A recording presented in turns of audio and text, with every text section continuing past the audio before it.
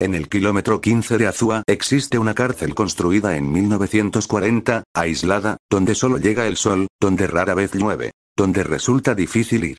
Aquella prisión es para hombres muertos en vida. En esa cárcel dicen que está lo peor de lo peor, hombres que matan sin compasión, ladrones y atracadores. Pobres diablos que no tuvieron acceso a la educación ni la fortuna.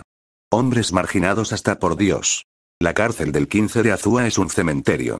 Convictos y agentes policiales están presos, abrazados y de algún modo hermanados por la lejanía y el sol.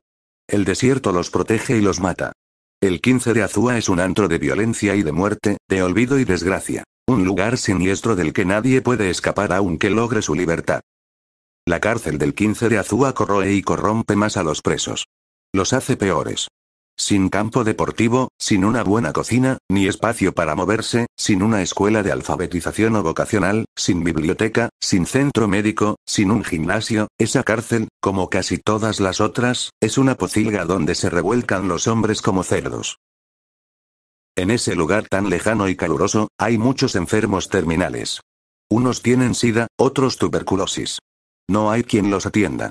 No tienen derecho al pánico de Doña Vivian o alcohólico de otros ricos.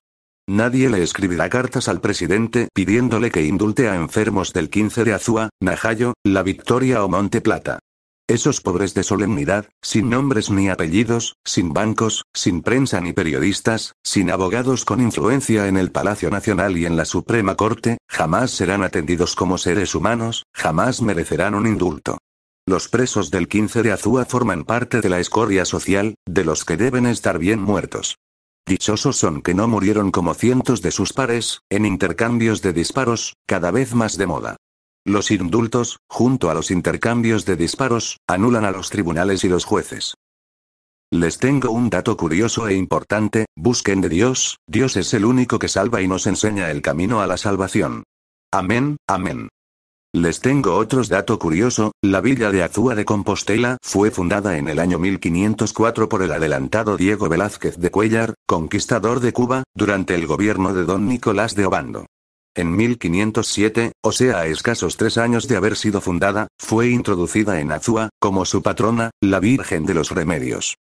Bueno, esta linda provincia, no solo tiene una cárcel pésima, tiene lindos lugares turísticos y bonitos para pasarla en familia. Les dejo este mensaje, busquen de Dios el Dios de luz, que a pesar de todo tropiezo se le está con nosotros amén.